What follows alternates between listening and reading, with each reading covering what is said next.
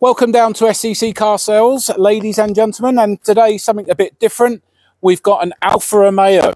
Uh, this is the Giulia, this is the Quadrifoglio, and uh, finished in the competition red. Now, you may wonder why I'm holding the build sheet for the car. Well, two reasons. I want to show you how much good value this car is.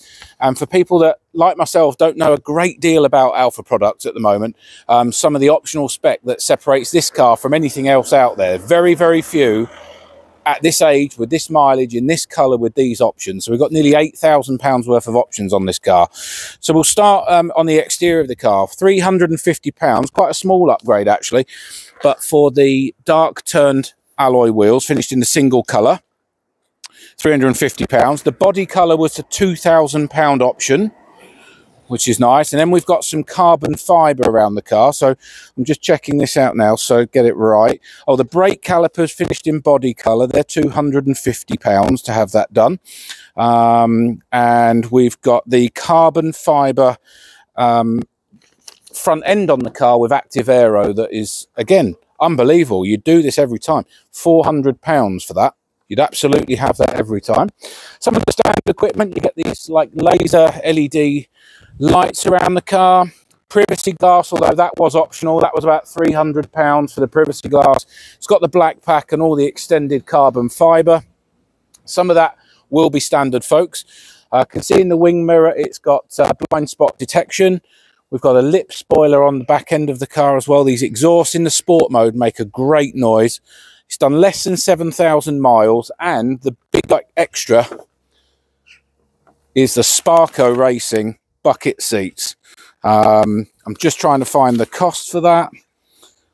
I'll come back to that, but they're a massive extra on the car to make up the £8,000 worth of extras. Keyless entry, carbon fibre everywhere.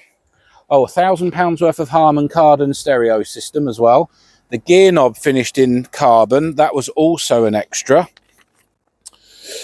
Um, convenience pack, that will be like a driver convenience package. That might be things like the blind spot detection. Oh, there we go. Carbon, Sparco carbon shell sports seats. No wonder everyone's asked us if it's got these seats. £3,000 for those front seats. So it's a special car, folks.